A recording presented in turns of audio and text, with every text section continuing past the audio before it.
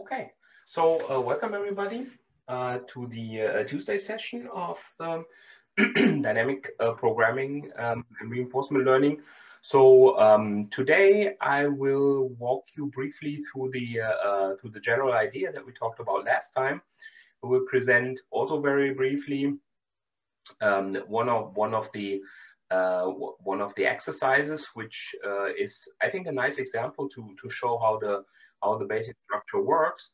And then the rest of, um, of today and of uh, Thursday, we will be discussing uh, a little bit uh, more, we will not discussing, but you will work on the, on the exercises to implement the, the stochastic dynamic uh, programming problem. So let me just briefly recap what we talked about last time. Hold on. Okay.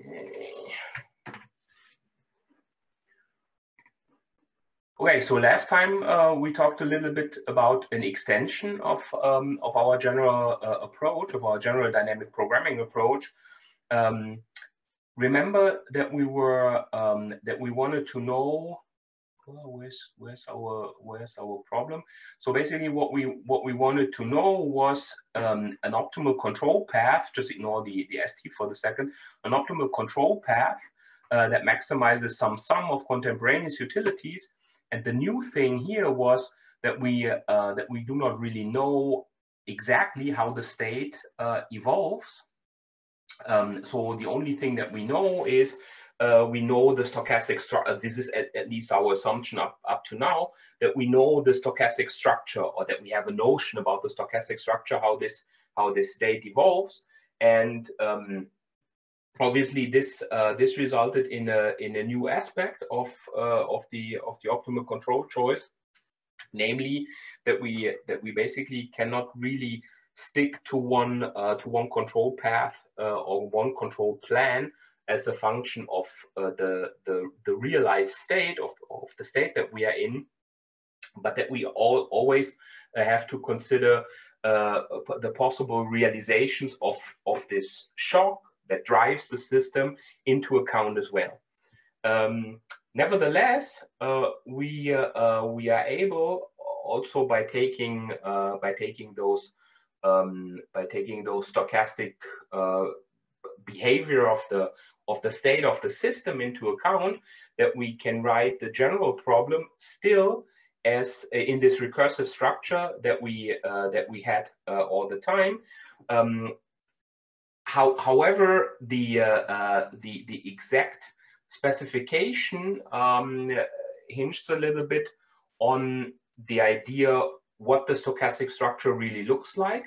Uh, we focused on, uh, on, on Markovian uh, stochastic structures, so situations where the uh, probability uh, for the realization of some specific shock is just a function of a finite history, or even that is the that is the most simple case that we can consider that the probability of any realization of the shock is just totally independent uh, of its history and if this was the case, so this is the thing that we that we talked about last time, then we are basically back to the same structure that we discussed before. Okay. The only thing um, that is that is different now is that we have to consider this expectation operator um, in, explicitly into account. So what does it basically mean? Well, this basically means that when defining uh, the optimal value. So when, when we think about the optimal uh, control, um, then I've told you, or we've told you, uh, that due to this recursive structure, this boils down to a relatively simple uh, trade-off, namely the trade-off between what is the payoff uh, as of today of, of increasing the, the control, for example? So what is the what is the contemporaneous effect? And what is the effect on the on the on the value as of tomorrow. So basically, what you do is you you do not think about how the, the how, how the structure of the of the complete uh, control path would look like, but you just trade off uh, today versus the rest of your planning horizon. And now the new thing is, um, so before, without, without having uh, any, any stochastic situation, we definitely knew what the state would be in that we are, or what the state is that we are in tomorrow. So uh, the, the trade-off was, was simpler in a sense. So we, we knew, at least in principle, we knew the potential future effects um, of the control. And now we do not exactly know that, but we only have a, a notion or a perception about uh, the, the expected effect that we will observe.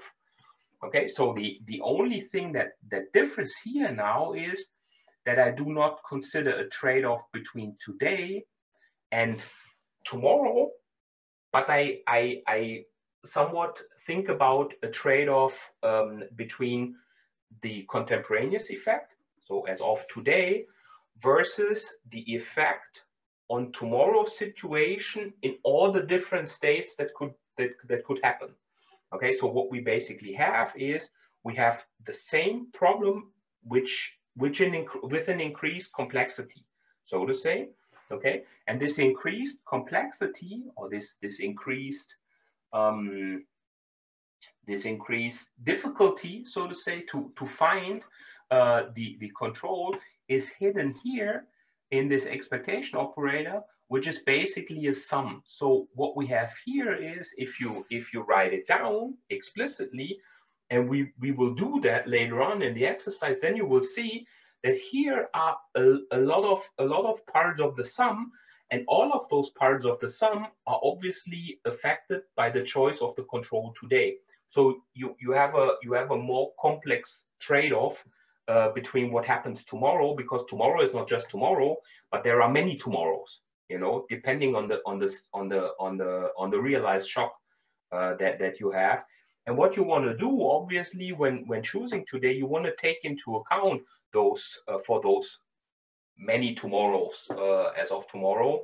Um, I mean, uh, you know, philosophically speaking, there's there's only one tomorrow time wise, but you know, of different uh, of different uh, timelines that you could be in. Okay, so again, the basic uh, the basic um, the basic idea is is very similar to what we had before. So we have to trade off this contemporaneous effect against the expected future effects.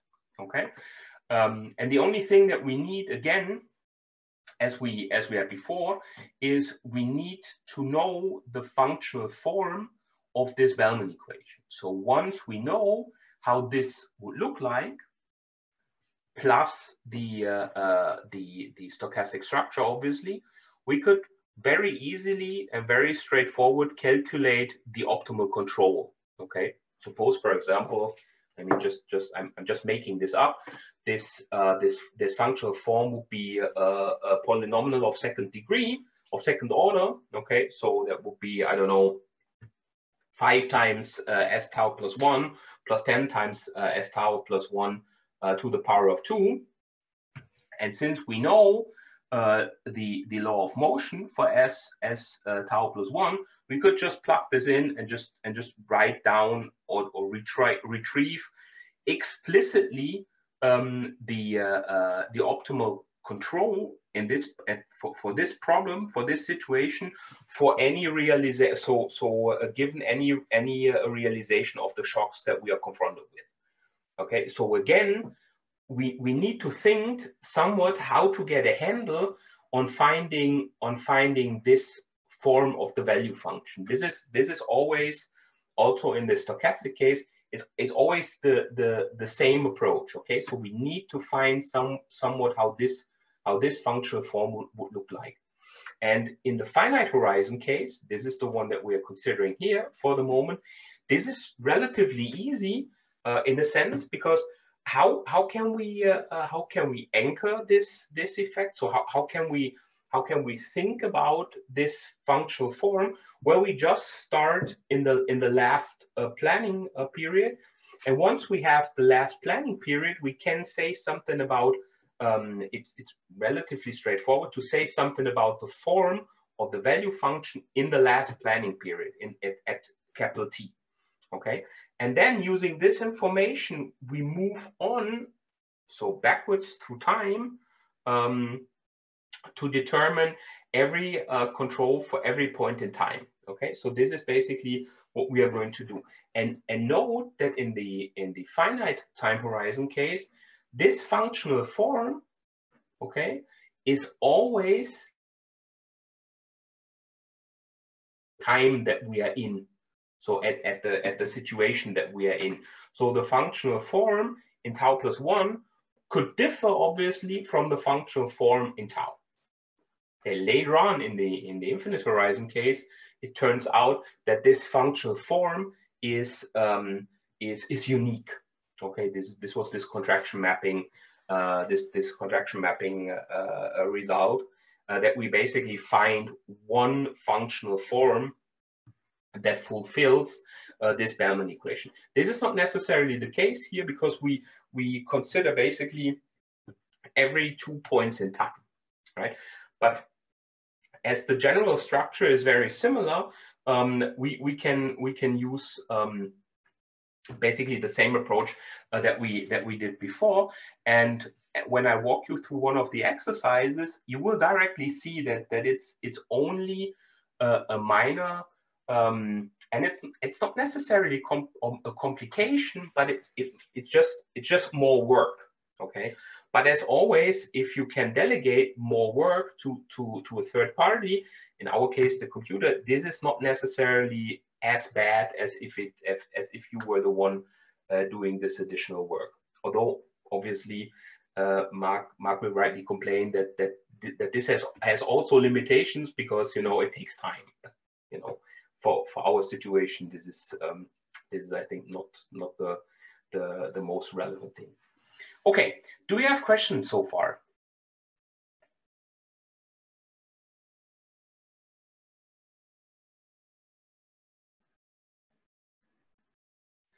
As I said, I think the most the most straightforward way um, to to see the uh, um, the similarities to what we to what we did before could be or, or are if you write down this expectation operator thing explicitly. If you would write that down explicitly, you would directly see, okay, this is basically really the same to the things that we did before. Okay. Okay, then, then we talked a little bit about uh, about did we did we already talk about that about the general uh, about the general approach? I think so.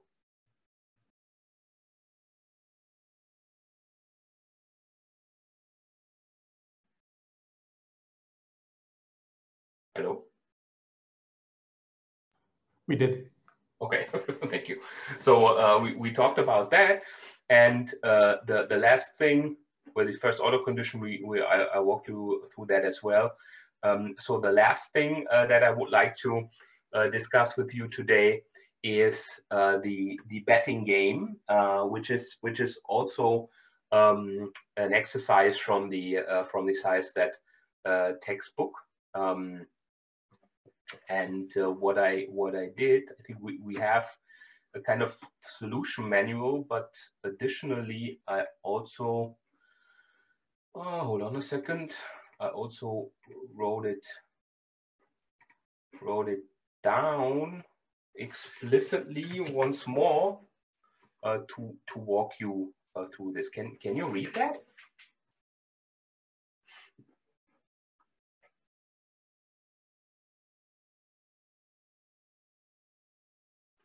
Okay, so basically, um, you are confronted with uh, the the following relatively simple game. Um, you uh, uh, you you play this game for capital T plus one rounds. Um, so you start in in zero, and uh, what you have is you have some initial wealth, and part of your wealth um, can be can be put into a game as a wager.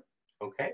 And with probability uh, p, you, you win this game, and with probability 1 minus p, you lose this game. And once uh, you, uh, you, you win this game, you receive, or when, when you lose this, this game, you, the, the wager is, is, is lost. And if you win this game, uh, you you receive basically uh, the the the wager uh, in in addition to your to your to to the to the initial uh, wealth that you had. Okay, so um, in period zero you have some wealth as zero, and you bet part of that, and then you may may win or may lose. Okay, and in case that you win, the situation, so your your new wealth in, in S1 is just your initial wealth plus the, the money that you've put into the, into the betting pot. Okay, so you receive basically the same that you, that you, uh, uh, that you put in there. Um, and if you lose, well, then you lose the money that you put into the, into the pot right? And this is just S0 times uh, C0. This is the amount of money uh, that you put into the lottery. So this is part of your part of your wager. Okay, and since you play this a number of rounds, and you could obviously interpret, I mean, this is not this is not lit- literally speaking, uh, time goes by, but those rounds, those logical steps, are very similar to uh, to to time going by. Okay, so you start with this with an initial amount, play your rounds, and at the end of the day, uh, you you end up with a certain um, amount of of, of wealth. So when you here period zero is basically closed, so you wake up again uh, in the next period, um, and you get and you can observe your your new uh, your your new uh, wealth, and then you can start over again, uh, thinking about how how much uh, of this new wealth to put into the pot and and to put into the game right? So then you decide about uh, the C1 and so on and so on until the, the game is finished, okay? So this is, this is the, the, the, general, uh, the general idea. Okay, so the general situation, so this is, this is just uh, conditional, so this is your wealth conditional upon winning, and this is your wealth conditional upon losing. So obviously whether you win or lose is a is a random variable okay and it could have um, basically it's a it's a it's a dummy right and it, it could uh, it, it has basically two outcomes and we call those outcomes here one and minus one so if you win okay you you receive uh, you receive this is uh, epsilon uh, t plus one this is this would be the uh, the, uh, uh the the random shock. So whether you the situation whether you win or whether you lose in period t plus one. So if you win, okay, this is one. So the realization is one. If you lose, the realization is minus one. Okay, so in general, what this says is, okay, your wealth tomorrow is just the wealth today plus the, the amount of money that you've put at the beginning of the period, at the beginning of the round into the pot, times, well, the outcome, which is if you win, it's just one. If you lose, it's just minus one. Okay, the, these are the these are the two situations that you uh, that that could occur, and you know that the probability in every period that this occurs is just either p for the win situation and one minus p for the for the loss okay if, if you if you lose.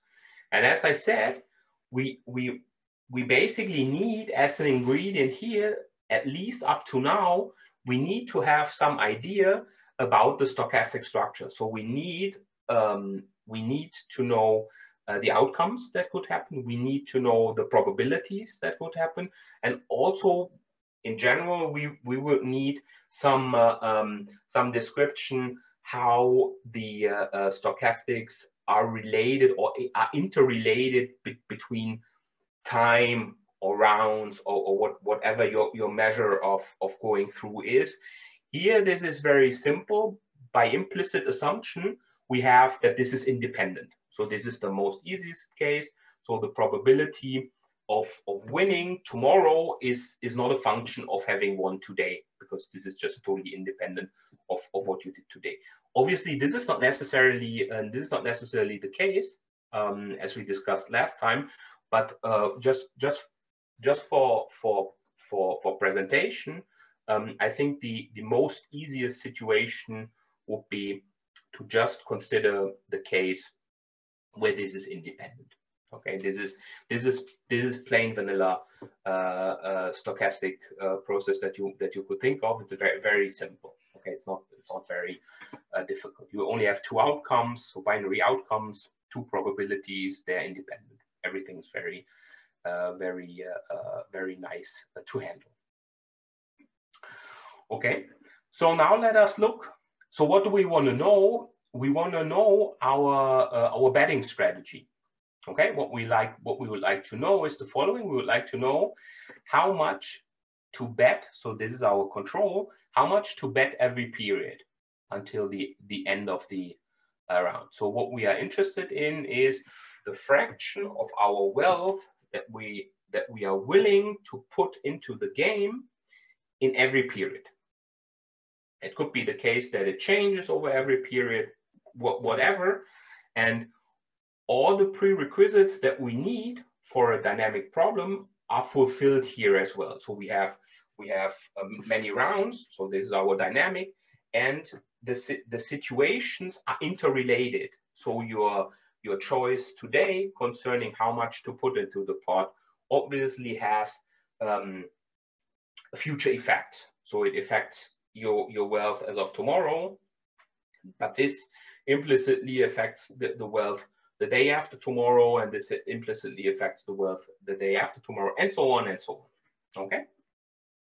This is the this is the general uh, the general game that we are that we are looking at. And what we want to do is we want to um, we want to find obviously this optimal path. Okay.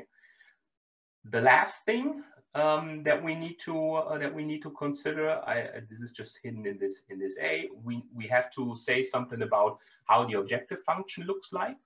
Okay, um, so so in general, you would think, okay, I, I wanna I wanna pick uh, this this betting strategy in order to maximize um, some uh, um, some objective function. And the objective function here is very simple. So focus for the moment on the objective function. We say that in all periods except the, the last period, there, there's, no, there's no utility attached to that. And only in the last period, can, can you see that somewhere? I do not see the, the full screen. Do, do you see the, the full, the, uh, the thing that is on top? How can we know? Uh, good, good, good point. So I think that there should be something like that. The that the utility in the last period, so U capital T, is the log of the of the wealth in that period. That's visible. Okay, because I can I cannot see that. Okay, so basically you have uh, the, uh, uh, the, the utility that you that you have is is the uh, the the contemporaneous utilities, which is zero period. So you basically enjoy just uh, the the fruits of your of your betting labor in the last period once the game is over. Okay, so once the game is over, you just realize how lucky you are, and then you uh, then you then you uh, uh then you receive utility from that. So there's no contemporaneous utility. You're not you're not happy uh, to to win intermittently. So this is you do not care. You just look at the last period. Okay, you are a cold a cold-hearted player. Okay, so uh, um, in general, so we now have, have, have to step back uh, one step. So in, in the, the general Bellman equation is just defined as the maximum of the control that you pick um, where you want to maximize the contemporaneous utility plus the expected value that you will experience as of tomorrow. Okay. And as I said, what we are looking at or what we are looking for is this control. Okay, so in this in this case, in, with this simplification, uh, we can basically um, uh, divide the entire the entire uh, description of our problem into into two situations. So you can uh, we can uh, divide this into the last period. So what is what is the uh, Bellman equation in the last period? Well, this is this is just the utility function that you would receive from the last period. So this is just the log, uh, the natural logarithm of uh, the uh, uh, of the wealth that you have in capital T. um, and note there's, that there's no randomness in the last period and there's also nothing to choose. Okay, so this is basically uh, just after you finish playing. Okay, then you then you count the, the money that you have and the, the log just translates basically the money that you have in, in utility terms. Okay, whatever, whatever that means. And in all other periods, okay, this contemporaneous utility is zero. So the only thing that matters here is the expected value as of tomorrow. Okay, and what we are now trying to uh, uh, trying to do is we're trying to pick the optimal control. Okay, um, and again, we do not know what the what the uh, what what this what this looks like, except for one period, namely the last period. Okay, so now let us look, are there, are there any questions up to now?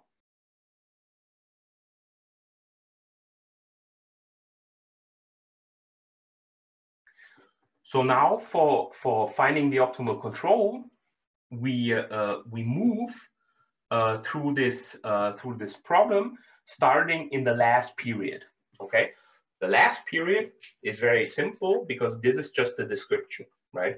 The last period is, is, is characterized by some wealth that you have given the game that you've played and the utility that you receive. So not, nothing, nothing happens uh, really there. But you could go one period uh, uh, back in time, so to period t minus one, okay? In period t minus one, we can this this value that you might receive by choosing how much we wanna we wanna put as a wager onto the bet. So we, we can control the amount. So the C capital T minus one, the, uh, uh, the, the amount of the, or the fraction of our wealth in capital T minus one that we want to, uh, that we want to bet.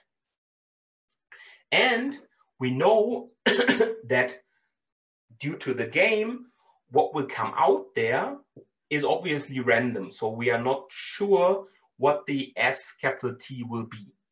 So in capital T, after the game, we know that, obviously. But in capital T minus, minus one, we do not know that. Okay, we, we have, a, we have a, a notion, a perception, because we, we know the game and we can calculate that, but we really do not know what, what exactly will be uh, the situation after we have chosen to, to put uh, C capital T minus one times the wealth that you have there, so st minus one, into the into the pot. Okay, so uh, we would like to know what to do. What, what would be the optimal thing to do here? Well, what we know is by the uh, uh, by the definition of the Bellman equation here, this holds for for every for every point for every round in the game, so for every point in time, except for the last round. Okay, so we have the value that I have or that I attach to this game just before the last round is just the amount or the fraction of my wealth that I put into the game of the expected value that I have afterwards. So after the last game, the last round is played. Okay. So what I know is, so I know two things. So basically, again, it would be awesome to say something about this right-hand side, because once I, if, if I could characterize the thing in the curly brackets, I know what the optimal strategy would be, right? This is just a very simple maximization problem. Um, and lucky for us, we know what, what there is in, in the curly brackets. So let's go step by step. We need to know the S capital T, we need to know the functional form V, and we need to calculate the, the expectation. So we have to say something about the expectation operator. And every of the three things are known to us, okay? Because I, I know the game, since I know the game, I know what my wealth will be tomorrow or after the game has been played. Okay, this is just S capital T minus one times 1 plus the realized situation, whether I win or lose, times or there's uh, and, and times the fraction of my wealth that I that I've put into the pot. I know the utility that I would receive once uh, the new wealth is realized, and finally, I can calculate the expected value Okay, so I can explicitly write down the this ex, this expected value of the log of this thing. Okay, so what I do is I take the expression for S capital T, plug this in here, then I know the functional form, plug this in here, and finally, this is this is this, okay? And finally, I have to calculate this expectation value, this expected value. But this is also relatively easy, right? Because I only have two uh, realizations that I could observe. So either the epsilon uh, uh, capital T is one or it's minus one, and I know the probabilities. So this is P or one minus P. Okay, and the only difference, so com coming back to, to similarities to what we what we did before, um, when we talked about uh, when, when we walked you through the uh, uh, through the pen and paper exercise of finding the solution uh, for the uh, for for a deterministic case, the only thing we had here is, for example, a situation where, say, the p is just one. Okay, so this sum would just collapse to to one uh, expression. Okay, and the and the complication, so to say, when considering uh, when considering, I mean, the technical complication when considering uh, stochastic uh, dynamic optimization is just a, a, more complex calculation of of this expression in the in the square brackets, right? So with just two possible realizations, again, this is relatively simple. Okay, so then in, instead of one expression, you have two. But think, for example, about a situation, say a more complex game, okay, um, where you could have, I don't know, 10 possible realizations of the epsilon. What would be the result? Well, the result would be that you have 10 of those. So you would have a sum consisting of 10 expressions, which is a, a lot of work. But think about a situation where you would have 100 realizations or 10,000 realizations, well, the general structure would not change, right? You would you would still have this this sum, okay, as as this describes the the expected value, but you wouldn't have instead of uh, two expressions, you would have 100 or 1,000 or 10,000 or how, how many realizations that you have. But apart from that, the general approach would be the same. Why is that?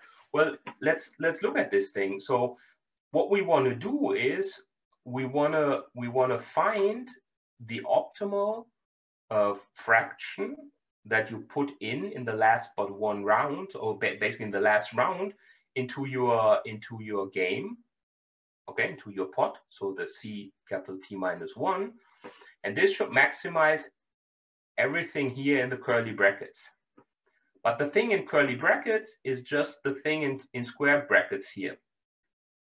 Okay, and uh, this is this is just it's it's it's very easy to to find here now the optimal control because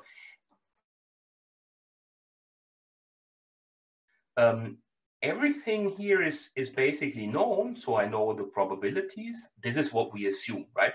I know the probabilities. I know the realizations I know the state that I'm in because you know I just put myself into the shoes of myself being in the in the last round, so I, I know uh, what what that would be. So the only thing that I need to determine is uh, the optimal control, so the optimal fraction that I that I bet, and this is relatively easily found by just you know taking the first derivative or finding finding the value of the admissible fractions that, that maximizes uh, this, this expression that is highlighted here.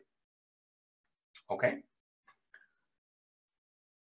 So what you then would do, you would just take the first order condition uh, of, of this expression. Um, so you would, in this case, where everything is, is easy and nice, you would just take the first derivative of this expression with respect to ct minus 1. And then you could then you could solve that for, uh, for the optimal uh, CT minus one star. So this is basically the optimal uh, fraction that you would like to put into the game. Okay, and this is just 2p minus 1. Okay, so the fraction that you would like to put into the into the uh, into the game is just a function of the winning probability. Okay. Does that make sense?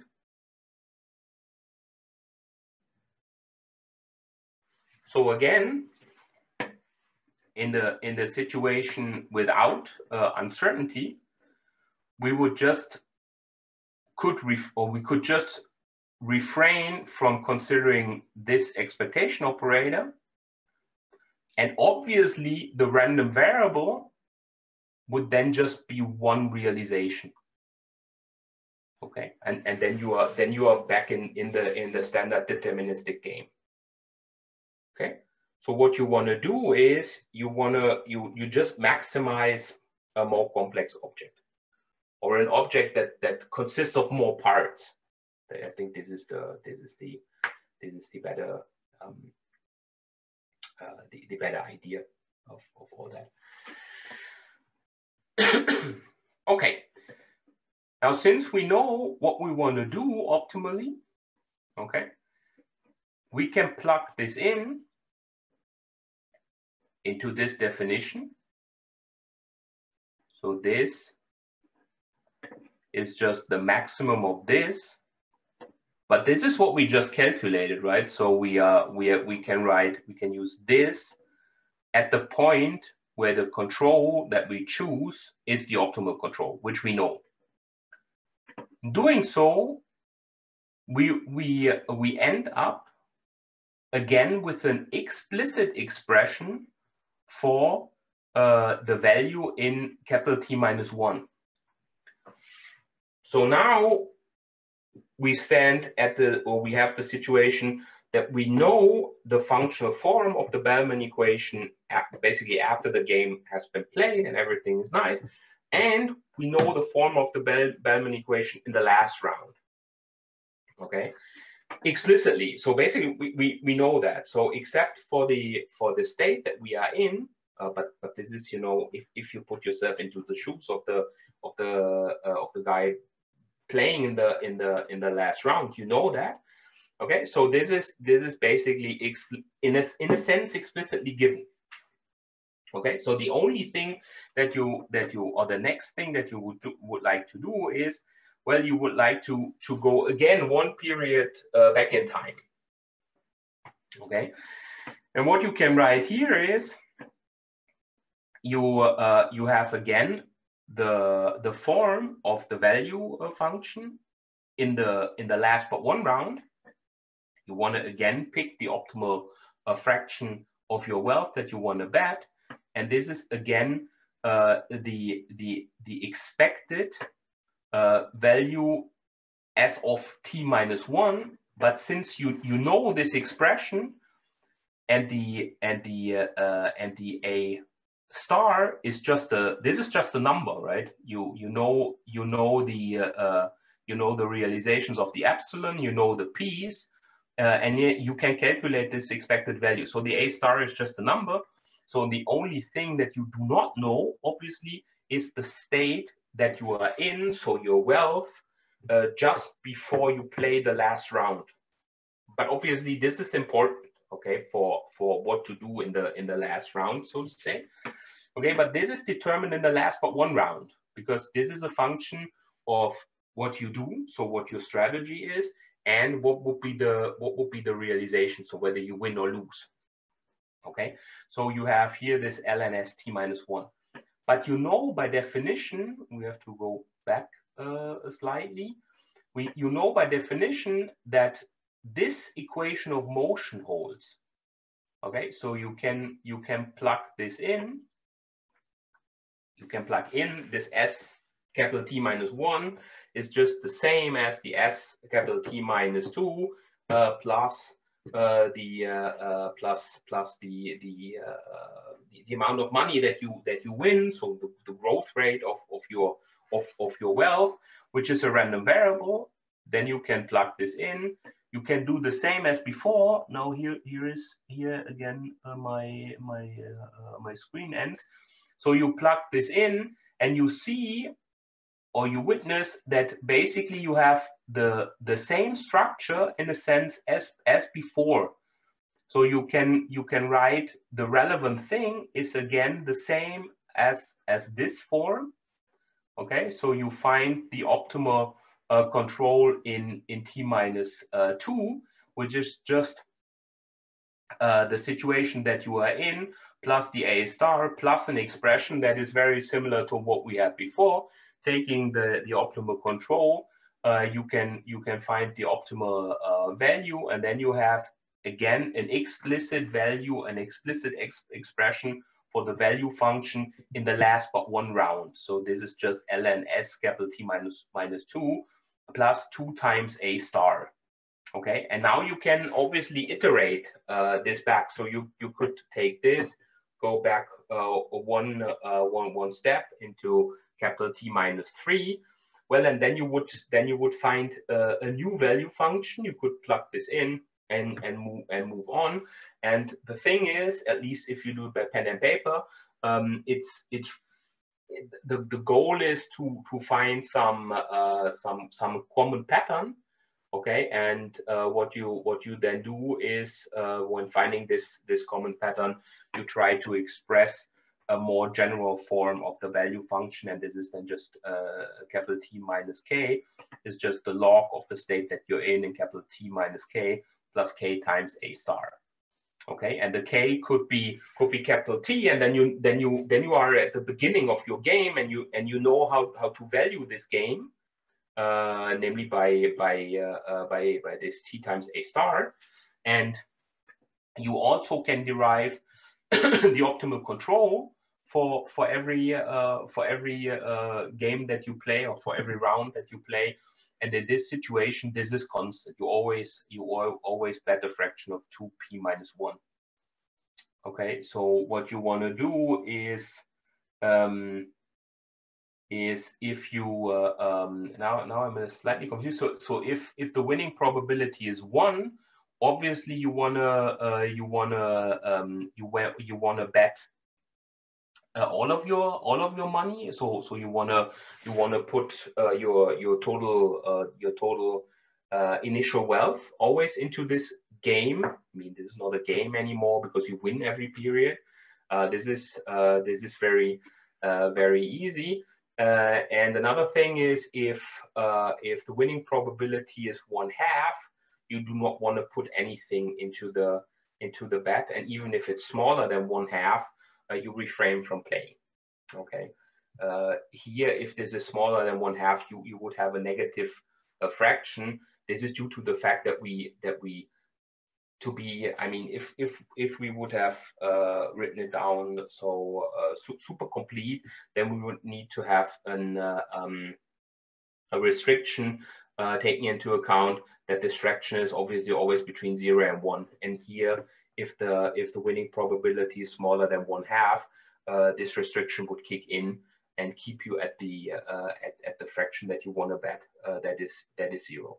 So uh, apart from the from the uh, uh, from the more complex writing down basically of tomorrow's value function, um, nothing is changed too drastically, I would say compared to the to the deterministic case.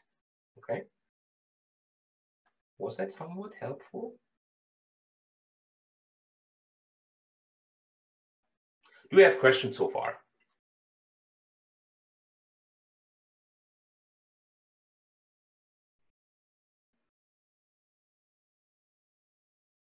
No?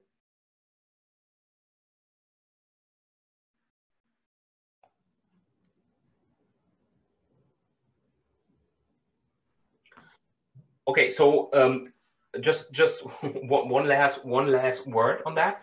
Um, when when you solve this, okay, and this is also true for the for the value function iteration in the uh, in the infinite horizon case, you always um, go through the problem in in this algorithmic way, okay.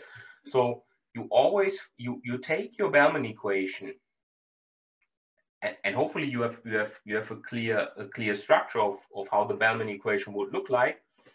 And you just take the right hand side of this Bellman equation and you you you solve this basically for every state that that you could be in so for every proper state and for every realized or every shock realization okay and you you you solve this then for the optimal uh, control and then you then you plug this in and then in the finite horizon case you move you move back one step in time in the infinite horizon case, you move in a new iteration.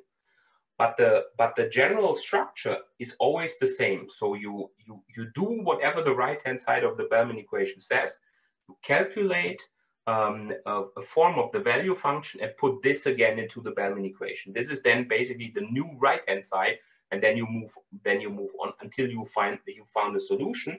Again, here in this case, we have for every um, point in time, we have a of for every round that you play, we have a different Bellman equation. So this this function, um, now here not the not the functional form in the strict sense because this is uh, this is linear in this in this in this in this A, but this is always this always differs depending on the round that you are in.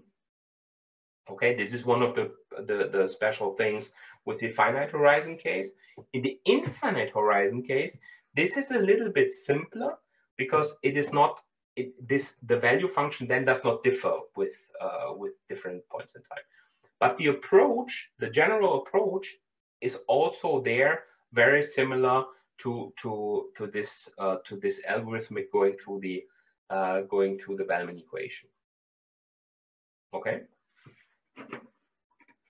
Uh, I have a question. Sure. Um, in a this, this, is a very very elaborate way to to do this in a dynamic uh, programming approach or dynamic uh, optimization approach. In this case, is this even dynamic? Because um, wouldn't it be also possible to model this in a static way? Because the shocks are independent and actually the strategy, the optimal strategy is always the same you you knew this from from from advance or uh, uh, because because we walked through that i'm not sure i don't know because I, that the shocks are independent i know from advance right yeah that's true that's true this is an assumption this is an assumption and but i mean mm-hmm. yeah I, I actually don't know maybe i know this from advance because I also know that the winning is not um, dependent on my um, wealth. So it gets not relatively more the more I bet, right? Well, it, well, the, the the the money that you bet, you get back. So the the more money you put into the pot, uh, the more you will get if you win. Yeah, so, the absolute value, right? But the relative value is always the same, right? So if there was a better payoff, a relatively better payoff, uh, the more I bet, then the strategy might change, right? Because I want to maybe increase my wealth in the beginning as fast as possible, and then um, I get a better reward. Sure, if if you that that could be. I mean, if if you consider different games, you would you would have different outcomes. I think the uh, uh the the purpose of of this thing is is also not not really to uh, um, to uh, uh, to to enlighten you how to how to play this game optimally, but to to see the structure how, how, how, how to do that because I mean that being said, um, you you can relatively easily um, hold on. You could relatively easy easily I don't know um, extend this game, for example, by by taking those things into account, right? You could you could change you could change this this the payoff structure. You could also change the probability structure. Yeah, yeah, it's a good example, definitely. It's, yeah, it's it's it's no problem to to do that. This this here is super simple. Point point taken. Yeah. Um, but it but I think it it nicely demonstrates um, how how similar this problem is in in in in a con- in a conceptual speaking to the to the de- deterministic case, which is somewhat a thing that um, that at least puzzles me every time I think and talk about that. Because wouldn't you wouldn't you just by by intuition by a naive intuition think well boy you know taking stochastics into account must make everything so much more rocket science and so much more super complicated. And the the truth is no it's not. Actually it's not. As long as you are able to to write this expect eh, this expectation operator in a in a proper form and, and taking you know taking taking mental account of what that means. Um, the the rest is is is totally similar to everything that we that we did before. And you will see in the in in the in the other example that we that we put into the computer that again also there the, this value function iteration is also exactly the same. The only thing is obviously that we that we need to come up with an idea of not only how to represent the value function. This was the, the, the, big, the big thing to do in the deterministic case, but how to represent the expected value of the, the, the, expect, the expected the expectation, the expected value of the value function, um, and and uh, this this is the only difference, um, which is relatively tiny, I would I, I would say. And uh, again, this example is just to to to um, to, to make this point that it's uh, that it's relatively easy to to uh, to implement. Um, and also if if you play around with that as i said i mean you, you could also make the the probabilities a state dependent or you could make the probabilities i don't know de depending depending on the money that you put in or i, I don't know you you could you could change uh, the outcome structure in in any way but you know, this uh, this expression in in this square brackets, it doesn't totally it it, it, it, it will look differently, but it but not conceptually. You know, you have you have a different sum there, and okay, you know, there, there's something else, but still you have some sum. Uh, it's not, it's not my day today. You have a specific sum, and uh, uh, you, you you choose just uh, the, the control that pops up in, in different in different parts of this sum. Okay, so I think yeah. Yeah, that makes sense. Thanks for the clarification.